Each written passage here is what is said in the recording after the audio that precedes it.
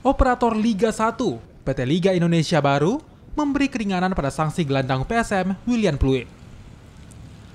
Pesepak bola asal Belanda itu bisa bermain saat PSM bersua Barito Putra di lanjutan Liga 1. William Pluim memang terkena sanksi larangan bertanding untuk lima laga. Namun, sanksi itu tak berlaku untuk laga tunda. Laga Barito Putra versus PSM Makassar sendiri seharusnya berlangsung pada pekan ke-6 Liga 1 2022-2023. Namun karena bertepatan dengan agenda PSM di AFC Cup, maka laga tersebut ditunda.